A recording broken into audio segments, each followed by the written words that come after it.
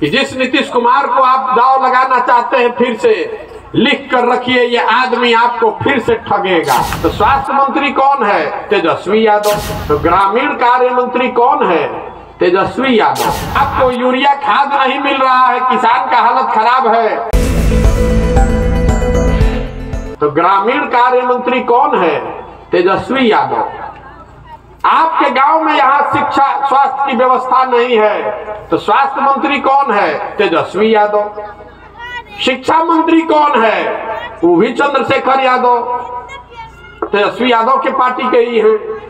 आपको यूरिया खाद नहीं मिल रहा है, किसान का हालत खराब है तो कृषि मंत्री भी तेजस्वी यादव के ही लोग हैं। तो मेरे भाई, आप हमसे शिकायत क्यों कर रहे हैं? आपकी सरकार है, जिसको आपने आँख बंद करके वोट दिया है, वही आदमी मंत्री है। उसी से उसी से कम से कम काम करवाइए। कुछ नहीं तो मेरा भय दिखाकर ही कुछ काम करवा लीजिए। हम इसलिए आए हैं आपके पास। यही भय दिखाकर काम करवा लीजिए कि भैया नहीं करोगे तो जनसुराज में चले जाएँगे। कम से कम अपने समाज का, अपने बच्चों का कुछ भला तो कराइए।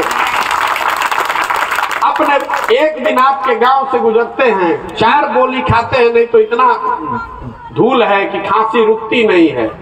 इन्हीं गलियों पर आपके बच्चे दौड़ते हुए बढ़ रहे हैं, उनके फेफड़ों की क्या दशा होती होगी, जरा सोचिए। आपको चिंता ही नहीं है तो कैसे सुधरेगा? और जो लोग बता रहे हैं महागठबंधन की बात आपको बता देते हैं, क्यों नहीं महागठबंधन की मदद कर रहे हैं? इसलिए नहीं मदद कर रहे हैं।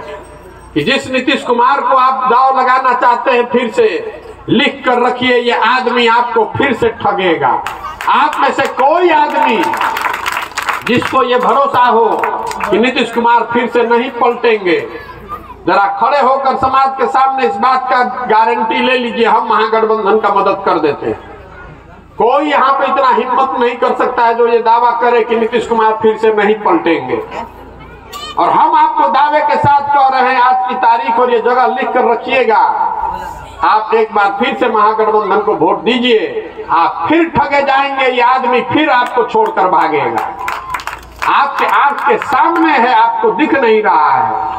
नीतीश कुमार बिहार में महागठबंधन में है और दिल्ली में लोकसभा में लोक राज्यसभा में अपना उपसभापति बनाए हुए हैं, भाजपा के साथ बैठ के कानून बनवा रहे हैं। आप तो दिखिए नहीं रहा है तो हम क्या करें?